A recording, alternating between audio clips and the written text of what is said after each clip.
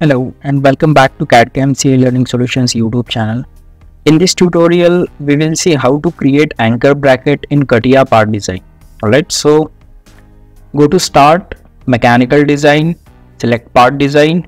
Now you can apply the name here. So anchor bracket and OK. Now first of all, we need to see total dimensions alright? So 140 is center to center distance between circle and slot.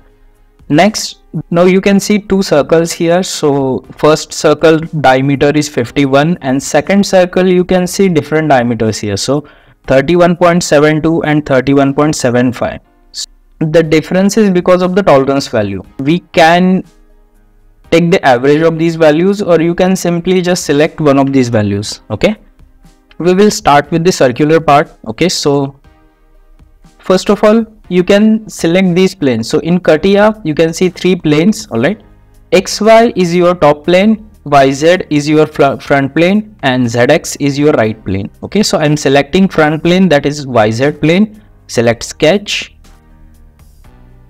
Now i'm only creating a single circle here okay? We can uh, we can use the hole command for this inner circle all right select circle. Next we need to apply dimensions to it. So dimensions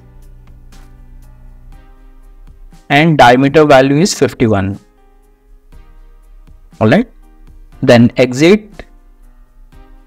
Now the total extruded pad length is given here. Okay so it's 44 select pad select sketch and you can apply directly 44 here. Okay.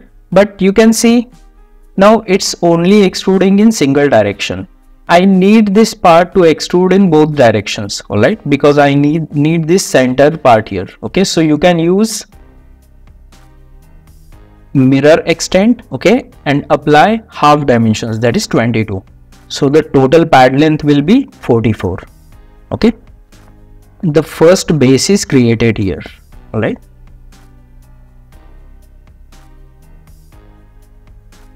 next now we can create this slot okay? Now the slot we have a direct slot, slot command available in CATIA now we can see that the slots end surface and the circles end surface are in line okay? So select back face then sketch all right now you need to create slot on right direction okay? If you want to create it in left direction just reverse all right and now you can create the slot in left direction. Okay just look at the arrow here. Okay? So you can reverse the direction by using this normal to tool. All right now in rectangle drop down you can see slot here. Just simply create two slots.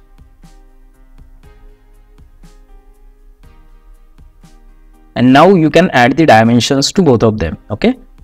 The outer slot the radius 20 is given. So double click and the radius is 20 okay? For inner slot the diameter is 12 okay? So radius will be 6 all right now next center to center distance is 140 the slot center from circle center is 140 millimeters away okay? So select dimensions select vertical axis select center and you can apply 140 here okay. Now slots axis length is given 50 millimeters. Okay. So again select dimensions select axis and you can apply 50 millimeters. Okay. Now the sketch is complete. Again exit workbench select sketch select pad and apply the dimensions. Now it's extruding in opposite direction. So you can simply click on reverse direction and apply the pad length as 22 millimeters. So it's already here 22 millimeters and click on ok. All right next. Now we need to create this middle rib part. Okay so we can simply sketch again on back surface. So select back surface select sketch now we need bitangent lines to connect from this circle to this arc, alright? use project 3d element to project these edges first alright? So select project 3d element then select circle select arc and select lines okay? So the edges will be projected here. Now we can simply create a bitangent line between these two surfaces alright? So you can see here the line is tangent to the arc at both ends. Again go to line types select bitangent line. Now select first circle and second one this arc. Alright? Similarly again select bitangent line select circle and arc. Alright? Now we need a close profile to extrude this. Okay? So we need to first trim this outer elements. Alright? So again we need to project this edge also okay. Now go to quick trim double click and you can trim the outer parts. Okay. Then again this. All right next. Yes it's perfectly matched. Okay. You can also check if it's closer profile or not in tools sketch analysis and you can see the curve is closed okay? It curves and it's closed profile. So again exit now the extrude length is given here okay? It's not clearly visible. So you can apply for example 15 as a pad length. Again reverse direction and apply 15 okay? So it's perfect now all right now the next part is this circle okay so we need a horizontal or top plane for this profile all right so select xy plane or horizontal or top plane then sketch Next, you can see the circle radius is R12, center to center distance is 32. We need to create a simple circle here. Radius is given as R12. So you can simply change, change it to radius and 12. Okay. Center to center distance. Again center to center distance is 32 millimeters. So double click and 32 millimeters. Okay?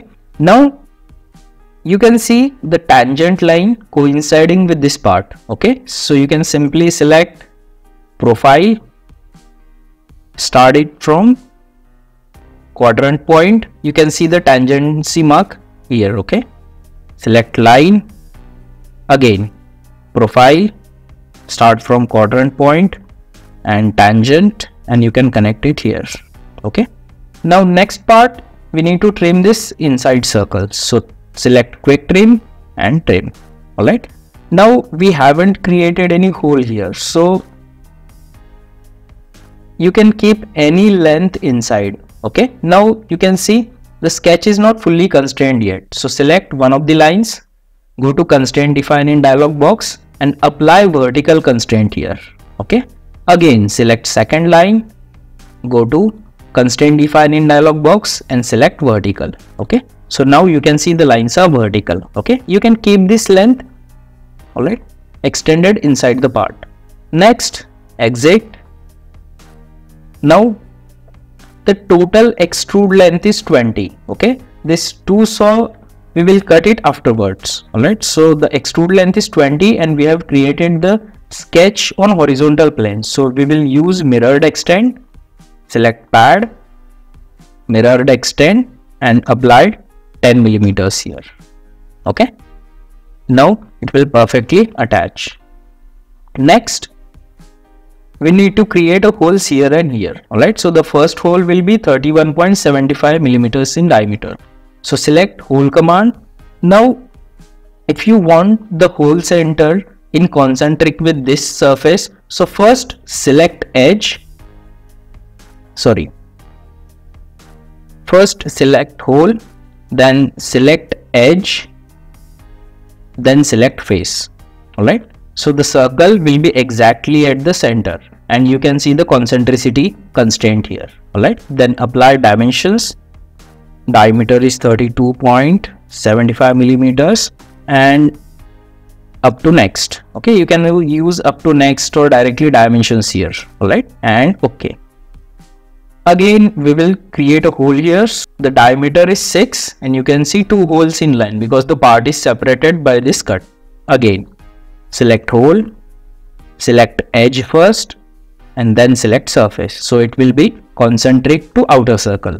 Okay? The diameter is 6 and up to last. Okay? Alright? So both the holes are created. Now we will cut this part. Now the thickness of this part is 2 so simply select front or back surface create sketch we can create a simple rectangle here. So i'm using centered rectangle tool and like this okay? The height of the rectangle will be 2 millimeters. So select constraint select rectangle and 2 millimeters okay? Now you can constrain these ends or you can keep it like this okay? Just click on exit. Now select pocket tool and up to last so it will cut through all parts. Alright? And ok alright?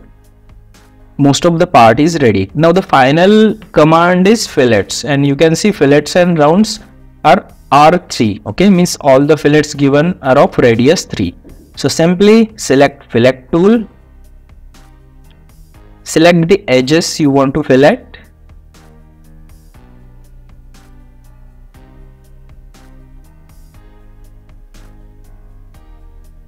and apply 3 millimeters. Okay? Again you can see here also. So select the outer edges.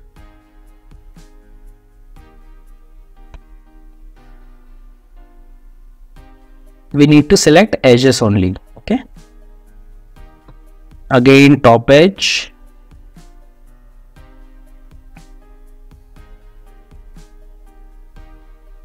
and bottom edge. Okay? Radius is 3 millimeters and click on ok alright? You can see the final part is created. Okay? You can see it in shading mode. Alright? So it will look better. Okay? If you want to apply material to it just click on apply material. Alright? Select the part first then if you want to apply any metals or paintings so i'm applying paintings here. Select a color you want to apply and click on apply. Now you need shading with material mode selected here okay? So change the display mode to shading with material and you can see the material applied okay? All right so in this way you can create anchor bracket in CATIA I hope you liked the video. If you like it, then please go to channel, comment on it and subscribe.